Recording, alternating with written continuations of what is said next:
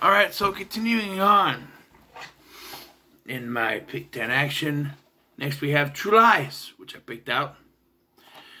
And I want to say, I want to start out by saying that it is, it should be considered a crime against nature that there is no proper Blu-ray uh, release. Apparently, there is a HD remaster ready, but they're waiting on James Cameron, who directed the film, to you know okay it. But we have not gotten to this day a an HD transfer. Apparently, there's one on Amazon, but that's only a place you can watch it. We have here the DVD. It looks like shit. It does. I started watching it. I'm sitting here going, and I'm sitting far away, and I'm like, that looks like shit. And then I was getting ready to start this uh, review. I was getting ready. I moved the chair in front of the TV because it was almost done, and I sat here watching the end. And I went, oh, it looks so much worse right in front of the TV. It, it looks like someone just took a VHS transfer and slapped it on the DVD. Nothing else, no remaster, nothing. It says right here, digitally mastered. With what? Snot? Honestly, that's probably my biggest negative in this film for this film is man, the transfer. Sorry about that. It's late. It's late. But uh yeah, so True Lies stars Arnold Schwarzenegger, Jamie Lee Curtis, Bill Paxton, Tom Arnold, Tia Carrere, some terrorist guy, Malik, something Malik, Art Malik, I think is his name, uh, Eliza Dushku, and uh, Chuck Heston. In a cameo role as a character who looks like Old Man Nick Fury from the original Marvel comics, not the the uh, Nick the Samuel Jackson one, but more like David Hasselhoff looking motherfucker. Yeah. Uh, Schwarzenegger plays Harry Tasker, who is a secret agent who keeps this from his family.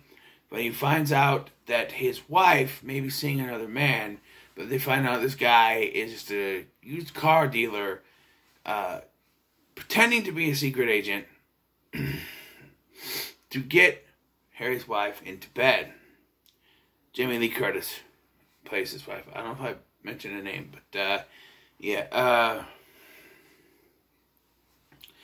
and that spills into more problems when the real terrorists actually show up. There's.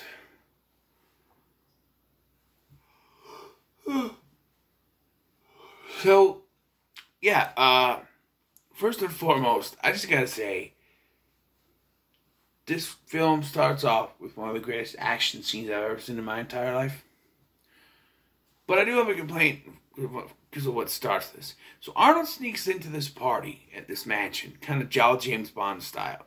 He sneaks in, he goes in, he dances with Tia Carrere, and all this stuff happens, and then he gets what he needs and he leaves. As he's leaving, security guard goes, I need to see your invitation. You don't ask for an invitation when someone's leaving the party.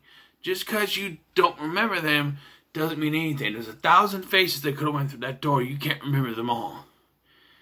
True, you never actually went through the door to go in, but I'm just saying, you don't ask for an invitation when someone's on their way out.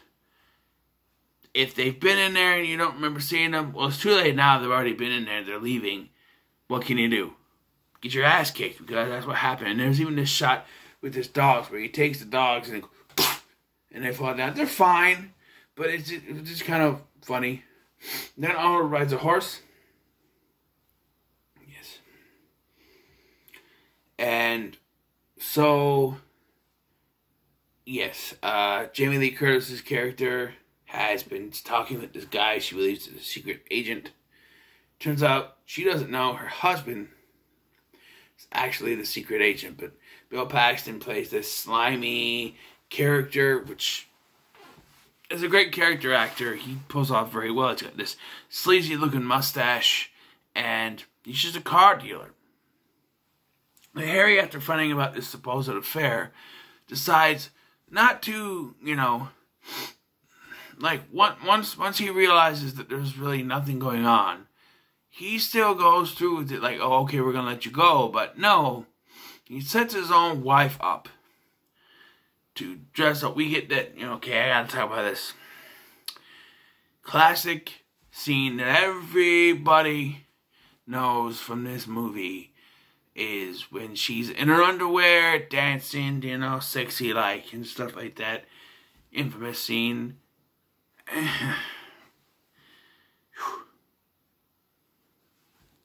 Apparently, Arnold had to tell his wife that uh, that he didn't get aroused by it. Yeah, bullshit.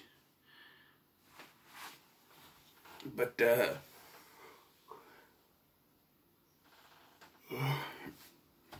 he was wishing she was his maid. Oh, but anyway, uh, so yeah, then the real terrorists show up, and they give Arnold this truth serum stuff, and I, I love this. She's like, she's like, is it working? I don't know. Ask me something that I would normally lie about. She goes, Are we gonna die? And he goes, Yep. And then he, when the when the bad guys come in, he like tells them what's gonna happen, you know, and like I'm going to kill you, I'm going to use you as a human shield, and then I'm going to kill them, I'm going to break your neck. How are you gonna do that? I got I, I peeked my handcuffs. And so, yeah. But then uh, the wife, Jamie Lee Curtis, gets kidnapped by Tia Carrere. And so now he now they have to come save the day. And I love this scene because they take her out of the, the, she's in the limo and he's trying to yell down, the bridge is out. She said, what? The bridge is out. The bridge is out. And she looks, she's like, oh, the bridge is out. The bridge is out. You got this, you got this look on like, bitch, I told you that already, you know, and he, he, saves her. And you think this is it, right? You think this is the end of the film. There's so much that goes on in this film. There's a bathroom fight at the beginning of this. There's, you know, a bunch of other stuff. A bunch of stuff happens in this film. You think it's over, you know?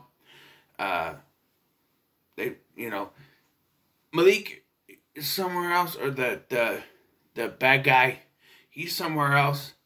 But you figure they, they're done. It's over with. And then Tom Arnold shows up and is like, oh, uh, they got Dana, which is his daughter. And I love the scene where they kind of introduce her. Uh, he gives her a snow globe. She throws it in the trash after he leaves. And then we see he has Tom Arnold comes in with these glasses and this little thing. He sets it up, and he sees his daughter stealing from him from behind. And how how is he gonna front her about that? Because yes, like he's going to, but she runs off before he gets a chance to. Yes, the bad guys have her, so he's got to go save her in his jet. And yes, he gets that line, "You're fired," and then shoots the, you know, thing and fires him out through the building. And yeah, it's cheesy, but he saves the day. And then they both become uh, secret agents. This movie's fantastic. What can I say? It's enjoyable to no fault uh, it's classic Arnold. It's probably it's known as probably one of Arnold's last great movies. Because after this, you had Jingle All the Way, which is still pretty good, but then you had like Eraser, Collateral Damage.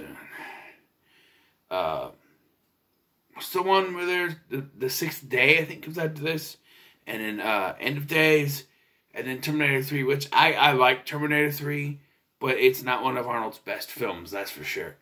But uh, it's one of I would consider Jingle All the Way his last good film, actually. But you know, this was pretty. good. It's James Cameron, so you can't go wrong. And yes, James Cameron has connections in this film. He and Arnold did Terminator. Bill Paxton had a cameo role. He was the "fuck you asshole" guy with the blue hair. And then, of course, there's that Cameron connection with. Uh, Bill Paxton, where he was in, you know, he was in Aliens. Game over, man. Game over. And there's Tom Arnold, and he references his marriage Roseanne on the line where, like, she took everything, even the, even the, uh, even the ice cube trays, which actually happened in real life when he and Roseanne got a divorce. So, you know, and they do like to reference that in, in, in their other shows. I think Roseanne made reference to something like that. And anything he does in some of his comedy and stuff, other movies and stuff, it happens. Uh, Jamie Lee Curtis, the acting, it's Arnold. It's cheesy. Of course it is. One liners galore. Jimmy Lee Curtis is fantastic. Bill, Tack, Bill Paxton is fantastic. Old man Chuck Heston is pretty good for whatever scenes he's in. He's not in much. The villains, if I have to give like a negative, it's the villains. They're your stock. We are terrorists. We are going to blow something up. We have the nukes. Everyone's going to die. Ah, ah, ah, ah. I don't know why he's the Count from Sesame Street, but, you know, it's the stereotypical terrorist, you know. Their bad guys are going to blow shit up. Arnold's going to stop them. Stereotypical. But, uh, yeah. And like I said, it's a major crime. There's no HD transfer because I didn't even try. And it's DVD. DVD's not that bad. I've been watching DVDs. You know, you know, I watched the Host, Cleansing Hour, and they look really good. This looks like someone took a VHS transfer and just slapped it on a DVD. Digitally mastered my ass. You know what I mean? I'm just saying. But I'm not gonna hold that against the film because it is a very good film. However, I can't send this one to the moon. Uh, it's a good film. Uh, I'm gonna give it nine out of ten. It's, it's just, I don't think it's moon worthy. You know what I mean? There's some films that, you know, are really, really good, have very little flaws like this, but I can't send it to the moon. I'm sorry. So it gets a nine out of ten. So what are your thoughts on True Lies? Let me know in the comments below. Make sure to like, share, and subscribe. I keep forgetting I gotta do this. Pull out a Blu-ray now.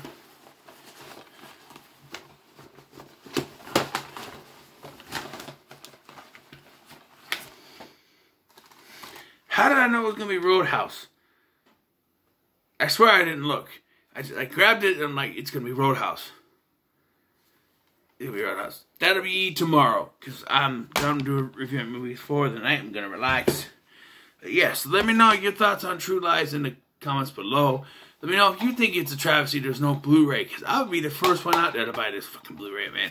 Make sure to like, share, and subscribe. Thank you for watching. I've been Scotty, and we'll see you in the next one.